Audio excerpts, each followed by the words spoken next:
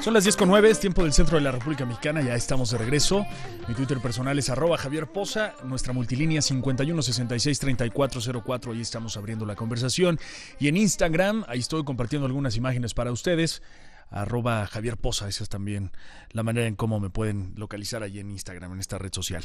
Bueno, ya le comentaba yo al inicio del programa que ayer tuve la fortuna, el privilegio de conversar, de abrir la conversación con la premio Nobel Rigoberta Menchú, con motivo, ella está aquí en la Ciudad de México, estuvo el día de ayer aquí en la Ciudad de México, porque forma parte de esta campaña llamada Vámonos Respetando, en donde participan otras personalidades públicas como Patti Cantú, como Paula Rojas, Hash, Andrea Legarreta, María León, eh, entre, entre otras personalidades, Marta Figueroa, otras, otras varias mujeres ahí eh, que también son, son públicas y que forman parte de esta importante campaña. Hubo una conferencia de prensa al respecto, pero después Rigoberta Menchú tuvo la gentileza de conversar con nosotros eh, para este espacio y hablamos de muchas cosas. Le presento la primera parte de esta entrevista con Rigoberta Menchú. Bueno, pues qué privilegio tengo el día de hoy, un regalo de vida sin duda alguna, tener la fortuna, la posibilidad de conversar con Rigoberta Menchú, con la doctora Rigoberta Menchú, Premio Nobel de la Paz 1992. Doctora, qué placer saludarla, de verdad, qué privilegio. Javier, qué honor saludarle también y verlo tan alegre y, tan puesto a, una entrevista no indiscreta. ya le decía yo que todas las entrevistas son indiscretas, eh, de antemano todas las entrevistas son indiscretas. Oiga, eh, hablando de esta alegría que usted ve en mí, ¿usted es consciente de toda la alegría que le ha provocado a muchas personas, Rigoberta? Sí. La verdad que es una gran bendición. Ese cariño, esos abrazos, ese, ese halago tan fuerte, es lo que más valoro en este mundo. Yo creo que es, es una fortuna, es una bendición realmente no, no, hay palabra para retribuirle a la vida todo eso. Más que los doctorados honoris causa. Totalmente, porque yo creo que las personas tienen que ser en primer lugar personas, tienen que ser gentes y la gente tiene sentimientos, tiene dolor, también tiene alegría, eh, también las personas tienen pensamiento propio y ese de pensamiento propio significa ser diferente. Y yo valoro mucho los doctorados, por supuesto, y valoro la academia porque de hecho soy parte de la UNAM.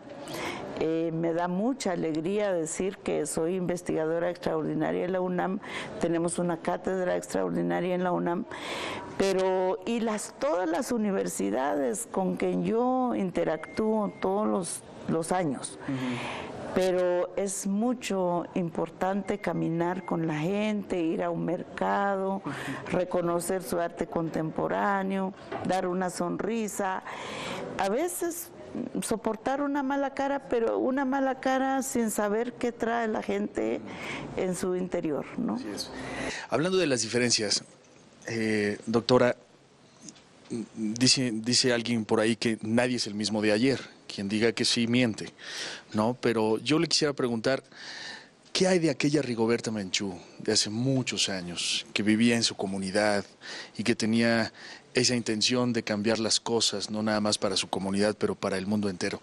¿Qué hay de esa Rigoberta Menchú hoy por hoy?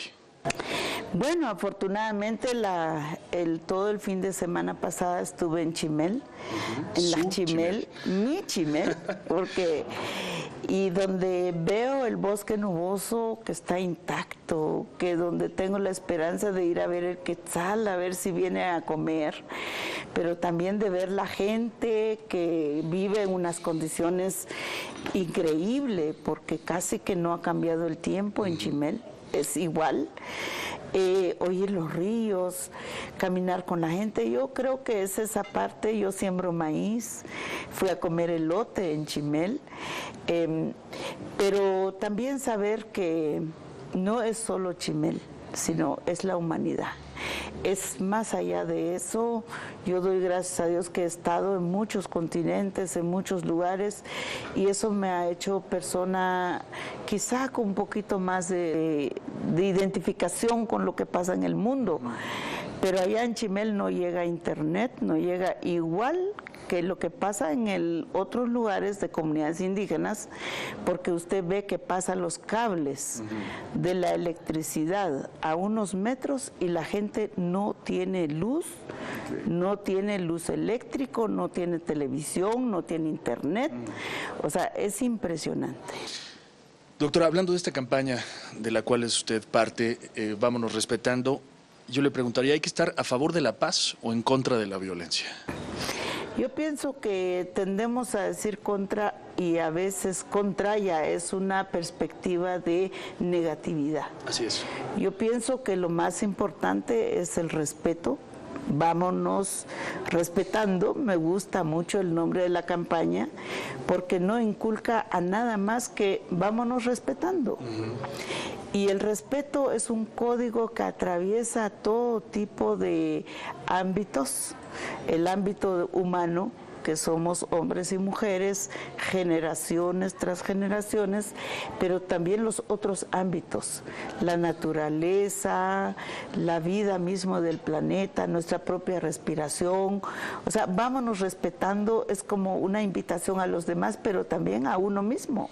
Y a conocerse también, porque para respetarse hay que conocerse, ¿no, doctora? Vámonos conociendo primero y luego a lo mejor el respeto viene por automático, ¿no? Muchas faltas de respeto vienen de la ignorancia. Totalmente, la ignorancia, la intolerancia son uh, vicios que aprendemos después de que nacemos, porque cuando nacemos nada de eso traíamos, los humanos somos prodigiosos, somos extraordinarios, somos inmensos, nuestro cerebro es extraordinariamente grande, que nos puede dar para todo una calidad de vida, una calidad espiritual, una calidad material y una calidad social. Yo creo que hemos perdido la calidad social, hemos perdido lo que buscamos. Yo siempre digo, ¿qué más quiero? ¿Qué más busco? No busco nada más que ser feliz en este momento. O sea, con pocas cosas los humanos podemos ser felices, pero hemos perdido esas dimensiones por fantasías, por otras formas de quizá iniciamos nuestros sueños. Así que... ¿La paz sigue siendo un desafío, doctora? La paz es educación. La paz es cultura, la paz es mística a todo lo que yo no puedo comprender. O sea, yo siempre veo las religiones, pues ya son instituciones, perdieron la espiritualidad. Así es. Entonces, lo que decía, ¿qué hay de aquella Rigoberta de antes? Yo creo que nosotros no podemos pretender ni borrar el pasado, ni tratar de ver qué es el futuro. Yo lo más importante es cumplir con tu deber hoy y hacerlo con toda la pasión necesaria. Mm. Eh, um, podría seguir conversando en ese sentido con usted, pero ya está tocando puntos que quiero tocar, porque traje un libro, no sé si usted, seguramente, como premio lo debe de conocer, a usted oído hablar de este novelista que es Marcel Proust, francés. Ah, probablemente lo haya escuchado hablar o probablemente oyó de este libro En busca del tiempo perdido, que es una joya de libro que si no ha leído yo se lo recomiendo muchísimo. Es de, es de, es de este autor. Y este autor tiene un libro muy famoso que cayó en mis, en mis, en mis manos hace poco. No es un libro, en realidad es un ejercicio, es un, es un juego y yo quisiera jugar con ustedes este juego, si usted me lo permite, doctora. Es muy sencillo, no No, no al estilo francés, porque... no, es el cuestionario de Proust. Es el cuestionario de Proust, le digo a Rigoberta Menchú, y no, no lo íbamos a jugar a la francesa como ella pensaba. Eh, tuvo la gentileza la doctora Rigoberta Menchú de jugar conmigo el cuestionario de Proust. Si usted no lo conoce, ahorita le platico de qué se trata este cuestionario, muy famoso, ¿eh? De, Proust, regresando de la pausa comercial, le, eh, pues le, le presento también qué fue lo que contestó Rigoberta Menchú ante este cuestionario de Proust, que pues prácticamente era el Facebook de aquel entonces, estamos hablando de finales del siglo XIX. Así es que regreso con, con eso y más, no se vaya. David Zapeda va a estar aquí en el estudio también. Ya estamos de regreso, son las 10.24, tiempo del centro de la República Mexicana. Continuamos presentándole esta conversación que tuve ayer con la Premio Nobel de la Paz, Rigoberta Menchú.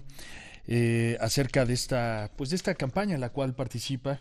Es una campaña a favor de la paz. Eh, Vámonos Respetando se llama. Y bueno, eh, conversamos al respecto y también tuve la oportunidad de jugar con ella. Se prestó a jugar conmigo, de verdad, fue un regalo increíble.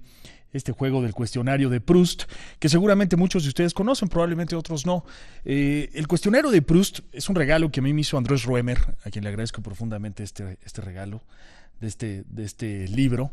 Eh, y pues bueno, este cuestionario de Proust eh, en realidad surgió de este álbum de confesiones que pues solía responderse uh, como parte de un famoso juego del salón, del salón inglés en aquella época, estamos hablando del, del, del siglo XIX, y que este importante autor, Marcel Proust, eh, este novelista francés, autor de En Busca del Tiempo Perdido, este libro que si no lo han leído se los recomiendo muchísimo, tuvo a bien responder a los 13 años de edad. De ahí, eh, pues respondió otro con preguntas pues un, un poco más eh, personales. Eh, son preguntas que invitan lógicamente a la reflexión. Hay que recordar que en aquel entonces, en, en, a finales del siglo XIX, pues no había Facebook, no había Internet, no había, no había absolutamente nada y era una manera de entretenerse y de conocer más a las personas este, este cuestionario, este juego. Y eh, pues bueno, después publicó sus respuestas Proust en un artículo llamado Confidencias de Salón y se volvió famoso este, esta, estas preguntas y ahora se le conoce como el cuestionario de Proust. Rigoberta Menchú accedió a jugarlo conmigo y esto fue lo que respondió. No siempre se tiene la oportunidad de conversar con un premio Nobel y me encantaría que usted me pudiera responder estas preguntas. ¿Jugamos? Es muy sencillo. ¿Le parece? Yo tengo tres respuestas. No sé, sí sé y no quiero hablar. con esas van a ser suficientes, doctora. ¿Le parece? La primera pregunta del cuestionario de Proust es la siguiente. ¿Su virtud favorita? Pasión, pasión. ¿Cualidad favorita de un hombre? Mm, humilde, sencillo, inteligente. ¿Cualidad favorita en una mujer? La sonrisa. ¿Ocupación favorita? Eh, multidisciplinaria. Su principal característica, la principal característica de usted, Rigoberta Menchú. Hablo un montón. Su idea de la felicidad. Mm, sentirse bien, sentirse pleno. Su idea de miseria. Espiritual, social y material. Su color y flor favoritos. Soy color amarillo. Su flor. Mi flor, orquídeas. Si no fuera usted, ¿quién sería? Sería yo. ¿De nueva cuenta? Sí, porque yo no podría cambiar quién soy. ¿Dónde le gustaría vivir, Rigoberta Menchú? Me gustaría vivir en Guatemala, siempre, como siempre lo he sido. ¿Su autor de prosa favorito? De prosa favorito. ¿Su autor favorito? Mi autor favorito. Uy, uy, uy. Si no lo tiene, no pasa nada. Eduardo Galeano. Con ese. ¿Su poeta favorito? Todas las poesías que me llegan a mis manos las convierto en cuentos. ¿Sus pintores y compositores favoritos? Pintores hay muchísimo, mire. Empezaría por Guayasamín. ¿Su héroe favorito de la vida real? Eh, mi madre, mi padre, mis hermanos. Eh, ¿Sus héroes favoritos de ficción? De ficción, ¿O heroína favorita de ficción? Mm, mis abuelas. Pero esas no son de ficción, esas son reales. Bueno, pero, No sé. Nunca... pero como no las conocí, son siete generaciones, tengo que imaginar cómo son. Ya me la mató, se la compro. ¿Su comida y bebida favorita? Eh, mi bebida favorita, limonada con agua mineral, sin azúcar. Qué joya. ¿Sus nombres favoritos, Rigoberta? Mis nombres favoritos. Es que los nombres lo pone papá y mamá. ¿Pero no tiene uno favorito, un nombre favorito? No, porque a mi hijo le busqué tanto su nombre y es lo que le puse. ¿Cómo se llama? Mash. Mash. ¿Significa? Mashnawalha se llama, significa espíritu del agua. Qué bonito, qué joya. Bueno, eh, ¿algún personaje de la historia que más le desagrade? Mm, es una pregunta capciosa. No, no, no. ¿Algún personaje de la historia que más le desagrade? Me desagradan los racistas. De Donald Trump, entonces varios. mejor ni hablamos, ¿no? Sí. Sí, claro. Bueno, ¿cuál es su presente estado de ánimo, Rigoberta? ¿Cómo se encuentra? Emocionada. Emocionada. ese me gusta. Ajá. Ok. ¿A qué defecto es más tolerante? La intolerancia. ¿Cuál es su dicho o frase favorita? Mm, espéreme.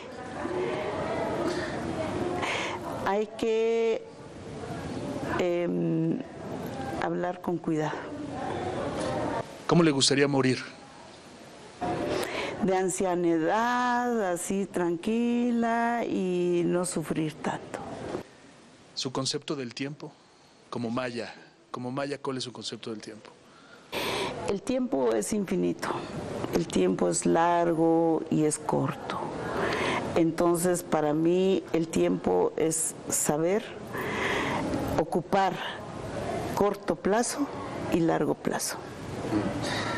Hasta ahí termina el cuestionario de Proust. Las que siguen son mías. Ay, pero la verdad que yo, usted, yo no he leído el libro en primer lugar. Es que no es un libro, es un cuestionario. Es Por un eso. cuestionario. Es un Sí, cuestionario pero- que se ocupaba en aquella época para conocer bien a las personas.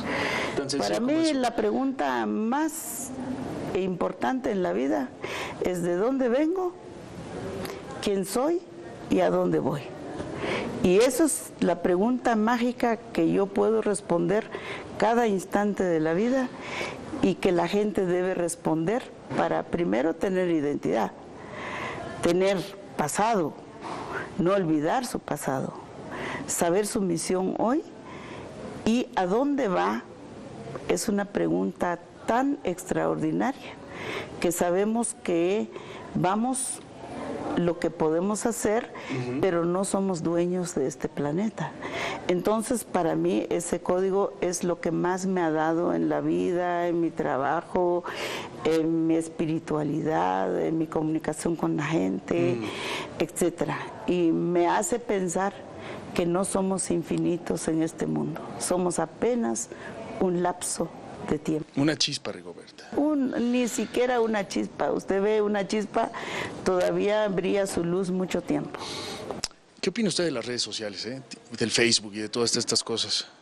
Yo creo que es tan importante que la tecnología, que el cerebro humano, que todo lo que hemos avanzado es tan importante.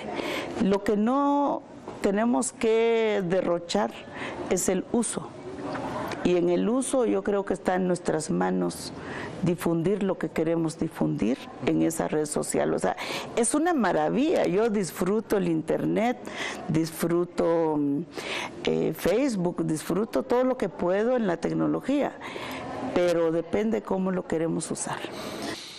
Rigoberta, un placer conocerla, un placer platicar con usted y le agradezco muchísimo el tiempo. Disculpe por la precipitación de la respuesta de sus preguntas. Es que sí es, no, no, no tiene que disculparse de nada. Solo he respondido en un tribunal, le juro. Y cuando me llevan en un tribunal y tengo que responder, me pongo nerviosa. No, esto se trataba de conocerla un poco más a fondo, es de lo único, y yo celebro haber tenido la oportunidad de poder hacerle este cuestionario de Proust a usted. Muchas Eh, gracias. Porque nos deja ver. pues, Ahora que me quedo pensamos. inquietada, tengo que leer ese libro. El, el- el libro de Proust. Sí, yo se lo voy a mandar. sí, sí, sí, Porque este es un gracias. cuestionario nada más, es un cuestionario que él hizo Qué famoso bueno. como autor. Pero yo le voy Qué a mandar bueno. ese libro si no lo ha leído. Gracias. Eh, Rigoberta, un placer, de verdad. Gracias a usted. Un honor, Javier. Igualmente, Rigoberta Menchú, señores y señores. Qué joya de persona, Rigoberta Menchú, sin duda alguna. Nuevamente, muchísimas gracias a ella por haber accedido a este juego del cuestionario de Proust. Vamos a, voy a empezar, fíjense, fue, la primera persona, la primera personalidad de este nivel a la cual yo le hago este cuestionario. Eh, voy a hacer lo posible por, eh, si me da la oportunidad de hacérselo a más personalidades. Ella me firmó como, como la primera personalidad a la cual le hago el cuestionario de Proust, me hizo el enorme favor de firmarme mi cuestionario y me puso, la vida es la paz. Gracias Javier por hacerme caminar por este libro. Eso fue lo que me escribió Rigoberta Menchú después de esta entrevista que yo en lo particular disfruté muchísimo. Espero que ustedes eh, también lo hayan hecho. Con esto vamos a la pausa comercial y regresamos porque hay más información de los espectáculos. Espero todos sus comentarios a través de mi cuenta de Twitter, arroba Javier Poza, eh, y a través de la multilínea también, 5166-3404. Hoy estamos abriendo la conversación. Voy a la pausa comercial y regreso para platicar con David Cepeda, que ya está aquí en el estudio. Así es que no se vaya, regreso con eso y más.